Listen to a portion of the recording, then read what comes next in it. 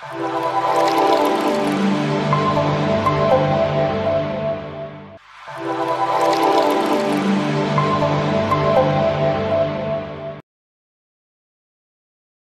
Friends நான் உங்கள் பின்சி. நம்ம இன்னைக்கு சோடியம் மெட்டல் வச்சு ஒரு எக்ஸ்பெரிமெண்ட் பண்ண போகிறோம் அதுக்கு முன்னாடி எங்கள் சேனலை சப்ஸ்கிரைப் பண்ணாதவங்க சப்ஸ்கிரைப் பண்ணுங்கள் அதுக்கு பக்கத்தில் இருக்கிற பெல் ஐக்கானையும் கிளிக் பண்ணுங்கள் வாங்க நம்ம வீடியோக்குள்ளே போகலாம் என் கையில் இருக்கிறது தான் சோடியம் மெட்டல் இதை நாங்கள் ஆன்லைனில் வாங்கினோம் இதோட லிங்கை நான் டிஸ்கிரிப்ஷனில் கொடுக்குறேன். இதை பிள்ளைங்க எதுவுமே தொட வேண்டாம். நான் க்ளவுஸ் எல்லாம் யூஸ் பண்ணி தான் சேஃபாக இதை சோடியம் மெட்டல் எங்களுக்கு இதே மாதிரி பாக்ஸில் தான் வந்துச்சு. இதில் மினரல் ஆயில் நிற்கிது உங்களுக்கு பார்த்தா தெரியும்னு நினைக்கேன் இந்த அளவு மினரல் ஆயில் விட்டுருக்காங்க.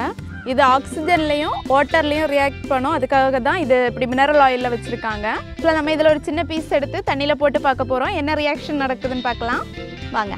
நாங்கள் இப்போ ஒரு சின்ன பீஸ் தான் போட போகிறோம் எப்படி இருக்குன்னு தெரியல நான் போட்டுட்டு ஓடியே போயிடுவேன் Eyes glow like two fires, movement so graceful. Wildcat in the jungle with dangerous claws. Movement she anticipates, a sight is set on her prey, like stars in the darkest night. நம்ம இனி ஒரு பக்கெட்டில் experiment பண்ண போகிறோம் எப்படி வருதுன்னு பார்ப்போம்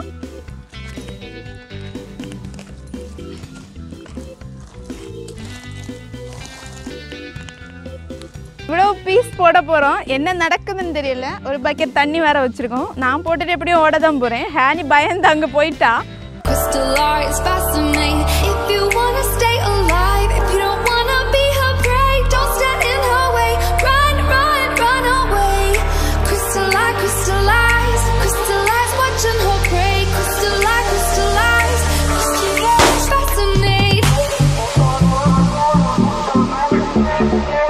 இந்த